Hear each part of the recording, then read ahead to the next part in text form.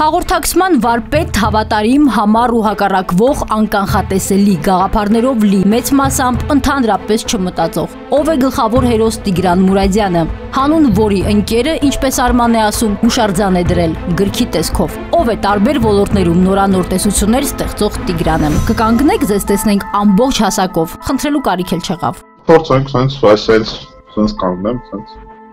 sense օտարապես։ Մինչ Սիագոն փորձում էր գրել, զանգել, կապ հաստատել Բարսելոնայում ապրող ընկերոջ հետ, այս զանգի մասին տեղեկացնելու համար նոր ծանոթությունների վարպետն արդեն կապի մեջ էր մեզ հետ։ Ահա նա գրքի հերոսը, վեպի աղը, համն ու հոտը։ Մտածողության մեջ ճիշտն ասած ընդհանրապես ոչ մի բան չի փոխվել, ոնց կայը տենց էլ մնացել եմ,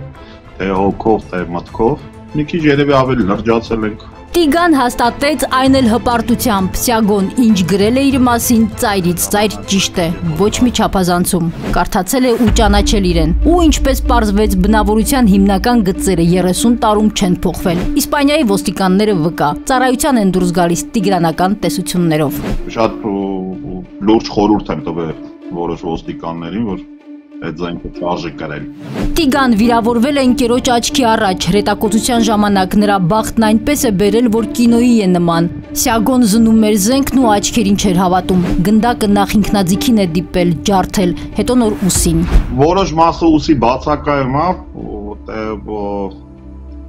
շատ հոյական բժիշկ էր ինձ վիրահատում Կարենը Պողոսով ինչքան հիշում եմ ինքը զոհվեց ուղաթիռում Գորիսում կարծեմ Արցախից գալուց Երևան, թե Երևանից գնալուց Արցախ կարծեմ տեզովեց ինքը հոյակա բժիշկ էր ու ինձ հա վիրահատել, որ տվյալ պահին էլի զգացնել չի տալի թե սպորտով եմ զբաղվում, թե այլ ծանր աշխատանք եմ կատարում, զգացնել չի տալի։ Սյագոյի նկարագրած տեղերով հասանք այն ժամանակվա հոսպիտալի շենք, ուր շտապում էր Արմանը ընկերոջ մոտ։ Ահա այն, վերակառուցվել ու Արցախի պետեկամուտների կոմիտե է դարձել։ Այդտեղ բուժվելու ընթացքում Տիգան փշերի վրա էր։ Յուրաքանչյուր վիրավորին երբ որ բերում են, վազում է, ինչքան կարա է վազում է, վազում է որ տենայի հանգարցակի իմ ընկերոջ, ընկերներից բան չի եղել, բայց Փառք Աստծո Արմանը շարքում չկար։ Հենց այդտեղ հոսպիտալում էլ ընկերները պայմանավորվեցին, երբ երեխաներ ունենան, իրենց հորեղբայր Սգո ու հորեղբայր Ձիկ ասեն, հոստումը կատարել են։ Չէ, տես չեն դիքում, չէ։ Բայց Սգո դյադյա ասում են։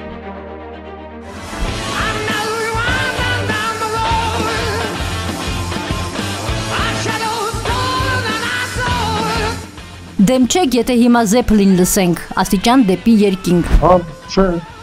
Stairway to Heaven շատ սիրում եմ։ Հարցը տալիս այլ արձագանքի ենք սպասում։ Սյագոն պատմում է, որ հենց միացնում էր իր պաշտելի կատարումը, Տիգրանը կատաղում էր, դուրս էր գալիս ծխելու, գրեթե 30 տարի անց։ Հա, մեծ հաճույքով։ Դե Սեգոն տվյալ բան կոնկրետ բացակայում այն կյանքում շատ շատ շատ եմ կարոտում։ Տիգայի աչքերը թրջվում են, երկով է ընկերոջ կարոտն առնում։ Բա